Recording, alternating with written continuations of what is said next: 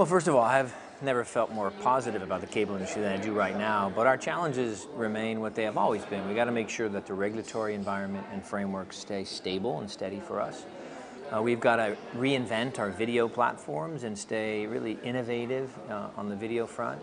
And um, you know, we got to make sure we're keeping our lead in broadband. And those, if we get those three things right, I feel really good about the cable industry in Europe.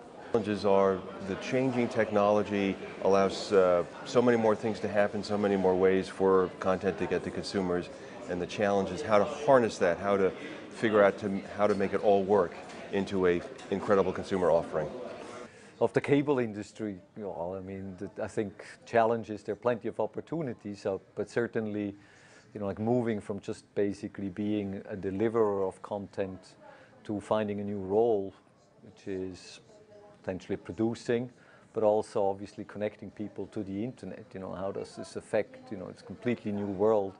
Is, uh, you know, how do you change with that is challenging, but it's also obviously opens up new horizons which had not been, been there 10, 15 years ago. So I think that's, that's what it is. And it's at the end, it's, you know, rather than just having a pipe into homes, it's how do you engage with, with viewers kind of downstreams, but also how do you interact and, and manage kind of the upstream part with the content producers and, uh, and other elements in, in the industry. And this expansion obviously gets you kind of into the territory of other potential competitors and collaborators, which, uh, which can add spice to the soup.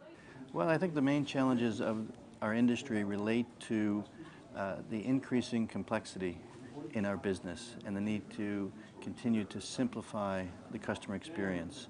We're in an environment where we're introducing entertainment anywhere, anytime, on any device, in the home, out of the home, and I think uh, uh, doing that in a high quality way is very much necessary, and I think we're moving in that direction quite well.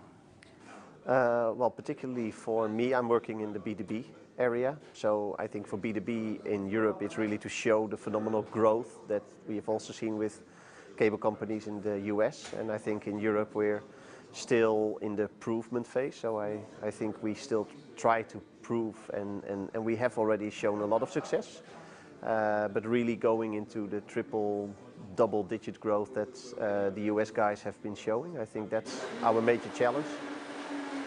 I think there's a big shift happening in the way that people consume content and have access to content. So a lot of that is uh, related to technology and uh, we'll, see where it goes, but I think that uh, from, from our side, as long as you've got uh, compelling content, whether it's uh, TV series that everyone wants to watch or live sports or whatever it is, that our pay TV industry is going to be able to deal with it. I think the main challenges are going to be choosing what I call right from right, which is uh, there are lots of opportunities, opportunities to delight customers, and I think in many ways cable operators and MSOs in general need to be more focused on delivering fewer things in a, in a, in a good way and with a good customer experience. And uh, certainly, I think ruthless prioritization is probably going to be a challenge for the industry, especially given the pace of change in general the, con the consumer is now a content creator and is a critic and there's no way that we can be in control anymore.